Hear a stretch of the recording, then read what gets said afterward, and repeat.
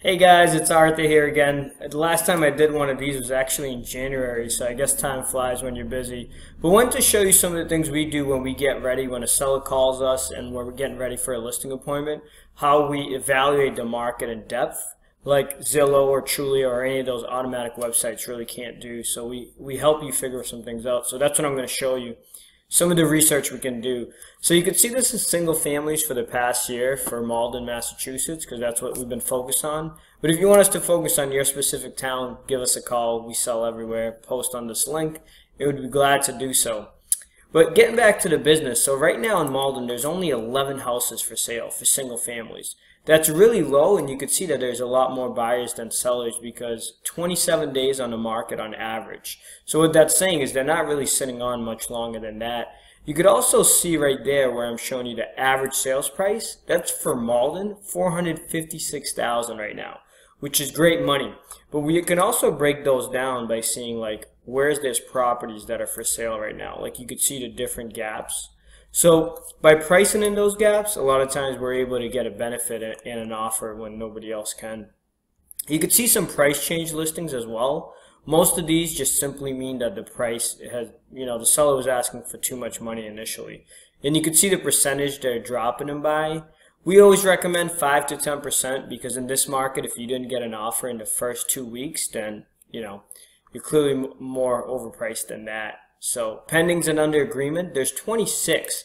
So if you think about how many are on the market, only 11, and 26 are gone, that means that there's way more under agreement, so they're selling quickly, and you only have 11 for inventory. So that's almost double, right?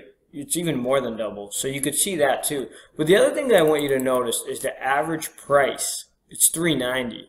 So what that's telling me is a lot of people are optimistic and they're not taking the time to price the properties properly.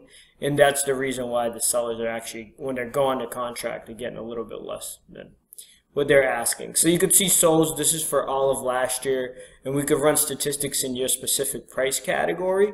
But if you look in general, this shows that original sales price to what it actually sold for is 101%. There's no property for a hundred grand, but for simple math, if you list for a hundred, right now you're getting 101%, and that's why it's a seller's market.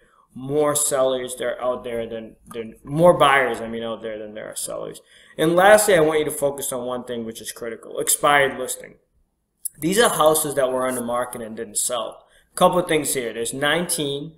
So here's my point, right? It's people like, why should I hire a realtor? There's the proof. There's still 19 homes that were even hired you hired a listing agent and still didn't sell. So you need to the person to know what they're doing. You need proper marketing, but also look at the days on the market. 79 days. That's a pretty long time in this market. So that seller consumer should have been educated on the appropriate price and marketing at that point. And you could also see the average price. It's 451. So we could come to the conclusion most of the time when a home doesn't sell is because they're asking too much money. There's always other reasons involved, but that's why I say hire a professional and make sure you, you get educated on the market. If you're curious about your town, your community, give us a call. If you have any questions, visit our website, dna-realty.com. I'll see you on the next one. Thanks, guys.